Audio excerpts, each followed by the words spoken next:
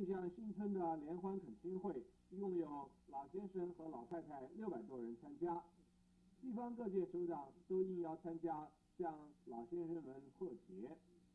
恳亲会是以聚餐的方式进行，同时穿插着歌舞表演，以及老先生老太太们自己的歌唱。老人们一面吃东西，一面欣赏歌舞，非常的开心，使得会场里充满了一片欢乐。恳亲会结束以后，主办单位中区民众服务社还赠送了每个人一件纪念。